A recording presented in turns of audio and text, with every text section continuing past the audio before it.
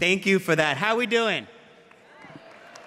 It is so great to be here. I just got in from Cleveland and I have to go back to Cleveland, unfortunately, um, to witness uh, their democracy over there.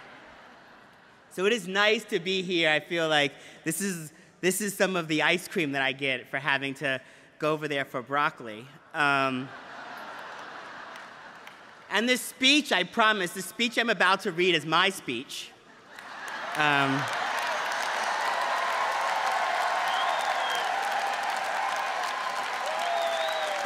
I feel that that I feel that that is very important in front of a room full of teachers. I learned so much from teachers in cut and paste. Um, learned so much from teachers the power of teachers. I would not be here without teachers, so I will read my speech. But in this present moment, in which we feel so much crisis, we must remember that our challenge as change makers, first and foremost, is to solve the crisis of imagination we see in people around us. And teachers know how to do that best because that is what teaching is making people more able to imagine what's possible for themselves, for others, for the earth, for every field of work, for society, and for all of us. Yet there's another sense of the word imagine, as in, it's hard to imagine how we even got here. Today, Donald Trump is the Republican nominee, and the Tea Party controls the Congress. We have to say that Black Lives Matter because when so many people think about human life and the lives that matter, they don't think about us. We weren't part of the all when it was written that all men are created equal. And we are not included, yeah, and we are not included in the all today when we hear that all children are succeeding, or all people being safe, or all people having rights, or all of us built this country. We are not included so often in that all. Today, education policies sometimes have as much to do with discipline as they do with learning. We have police in our schools, oftentimes looking for an excuse to take kids out and land them in prison instead of looking for ways to support communities and keep kids learning. We have zero tolerance policies that apply to kids who make mistakes and make some bad decisions as they're trying to figure themselves out or cope with so many uncopable conditions in their lives. But make no mistake, Zero, zero tolerance doesn't apply to bankers who destroy our economy, employers who break commitments to employees, and politicians who advance long disproven ideas. We seem to have endless tolerance for those folks. So, why does Rudy Giuliani still have a voice? And why does Rahm Emanuel still have a job?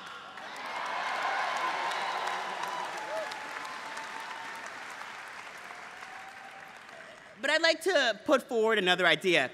It's actually not that hard to imagine how we got here. Whenever we fail to work together at the deepest levels, this is what we get.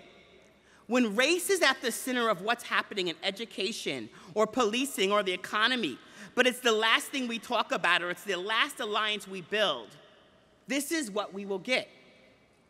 When corporate power is at the center of decision making, locally and nationally, which affects every single freedom and opportunity in our lives and affects every parent in our community's ability to provide for their child. Yet we don't talk about it, we don't organize around it, then this is what we will get. The work of imagining is not just the work of seeing what is possible. It is just as important to be imaginative and innovative about the how. How we win. At Color of Change, that is what we do. We figure out how to win. We have a model for impact strategy respond, build, pivot, and scale. I don't have time to go into all of it, but in the aftermath of voter ID laws popping up around the country and in the aftermath of America seeing what was happening in Sanford, Florida with Trayvon Martin, we responded and we called on our members to get involved and call on the Justice Department to engage. We responded. And then we built more and more energy, hundreds of thousands of members calling on the Justice Department, talking about systemic racism, but we also pivoted. We saw the systemic work of the American Legislative Exchange Council in states all around the country. We saw that they were getting money from corporations, corporations who every single day come to black folks and say, buy our products and use our services. They were supporting anti teacher and student policies. They were supporting voter ID laws. They were supporting stand your ground. They were doing things to weaken our governments and weaken our ability to organize. And we told them that you can't come for black folks' money by day and try to take away our vote by night. And just like so many corporations, they said, you know, we give a little to the left and we give a little to the right. And we say, that's great. But there's not two sides to black people voting.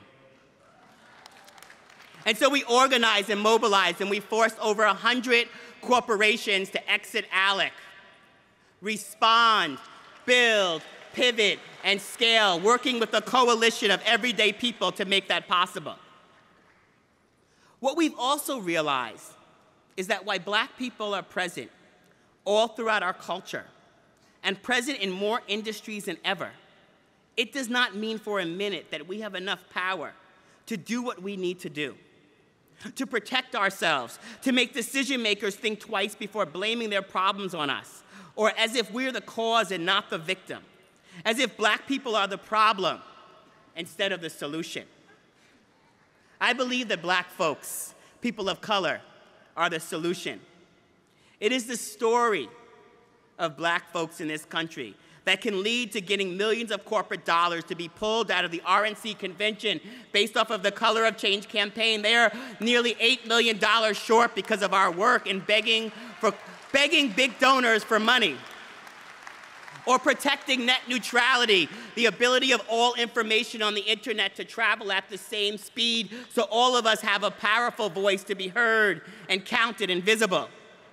It is the story of black folks that can expose a right wing organization like ALEC and its policy shop and force it to come from under the radar and expose their immoral work. And it all comes from constantly finding new ways to organize, to act, to bring more people in, and to find the right strategy for the moment and the right thing to do.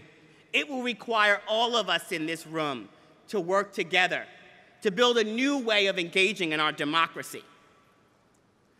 So, to everyone here, I challenge us all to imagine race as a way to win, not something to avoid and to imagine the power of our unity, civil rights organizations and unions, as both possible and necessary to achieve. Thank you. And now, it's my pleasure, because last month Americans showed that love is stronger than hate. Millions took part in celebrations of LGBTQ pride, and our Muslim brothers and sisters celebrated the holy month of Ramadan.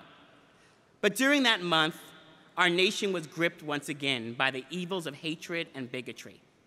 The Pulse nightclub massacre killed 49 people and injured dozens just because of who they were LGBTQ.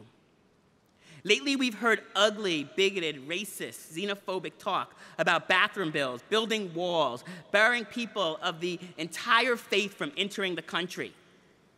But we can beat this if we come together and break down barriers that have stood in our way for too long. Patricia Crispiano is heading, is helping to lead that effort. She started her career in 1986 as a teacher of printing in New York City, my hometown. And since that day, she has been an advocate for students, fellow educators, LGBTQ families, and working people. As an openly gay woman and national board member of Pride at Work, an AFL affiliate, Pat works tirelessly to bring the gap between, bridge the gap between working families and the LGBT community.